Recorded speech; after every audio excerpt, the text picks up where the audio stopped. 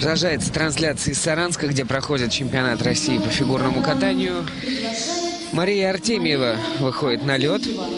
Она из э, Академии Санкт-Петербурга под руководством Татьяны Клениной.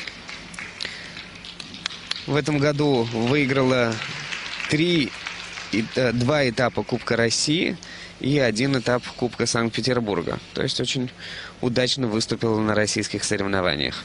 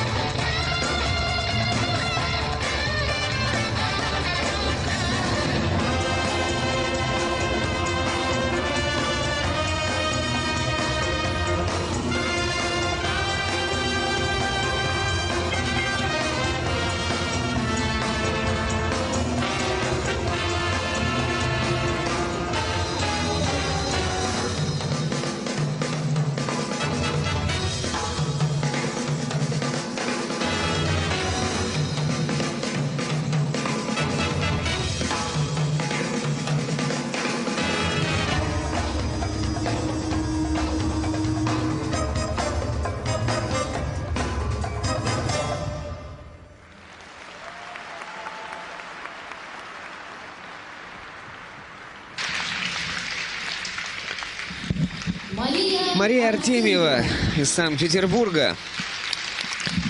Не покидает ощущение, то, что все девушки на этом чемпионате, по крайней мере сейчас в короткой программе, чертовски здорово катаются.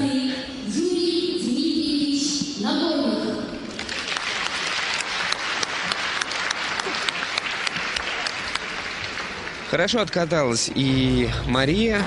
Она, правда, не делала каскад 3-3, но зато это была очередная очень толковая, очень э, живая программа. И выглядела очень хорошо, очень хорошая фигурка, рабочие ноги. Программа сделана.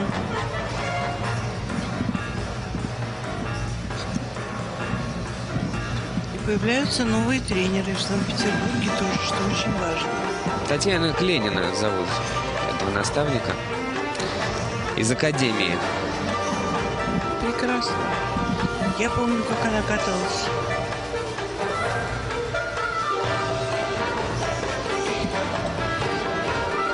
В связи с тем, что я начала работать очень рано, я практически видела Ленина. Да, не к Ленину, а Ленина.